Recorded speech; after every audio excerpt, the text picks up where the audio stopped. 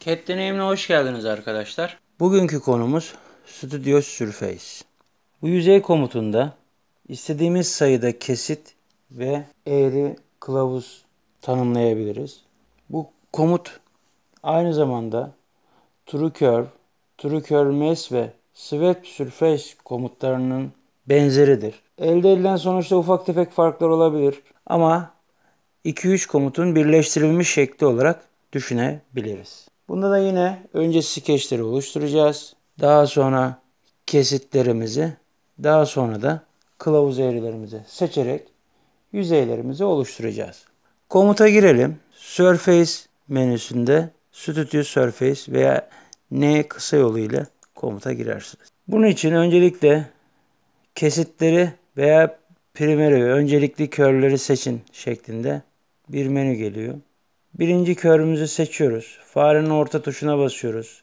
Yine aynı yakın mesafeden diğer körümüzü seçiyoruz. Yine farenin orta tuşuna basıyoruz. Üçüncüye basıyoruz.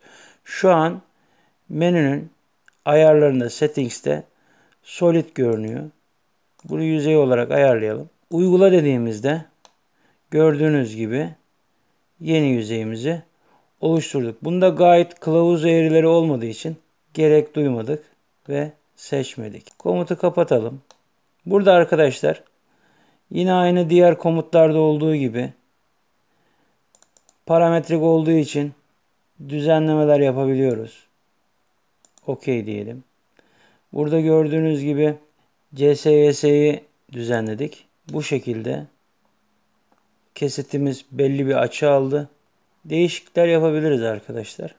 Bu kullanımdan hariç biraz daha gelişmiş, daha kılavuz eğrilerin de olduğu bir kullanım belirleyelim.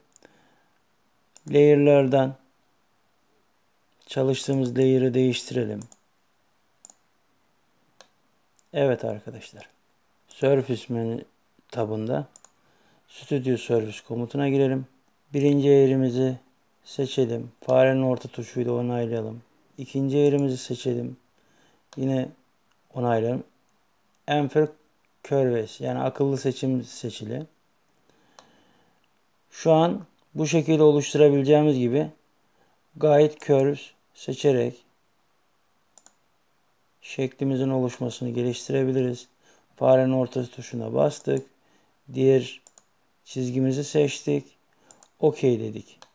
Gördüğünüz gibi böyle kompleks bir şekil oluşturduk. Bunu silelim. Yine arkadaşlar bu komutla Studio Surface komutuyla Swap Surface kullanımını görelim. Bunun için bir curve'ümüz, ikincisi kılavuzumuzu belirliyorduk. Burada yalnız çizginin nereden seçildiği önemli. Hata verdi. Kılavuzu seçerken silelim. Kılavuzumuzu buradan seçelim. Gördüğünüz gibi vektörler aynı yönden çıkıyor. Şeklimiz, kesitimiz ve kılavuzumuzun seçiliş şekline göre seçilmiş oldu. Yine burada diğer referans yüzeylerle bağlantı şekillerinde seçebiliyoruz. Bu kesitimizin yanlarında yüzeyler olursa onlarla da bağlantı kurabiliyoruz. Komutumuz oldukça kullanışlı. Bundan yararlanabilirsiniz arkadaşlar. Bugün işlediğimiz ders bu kadardı.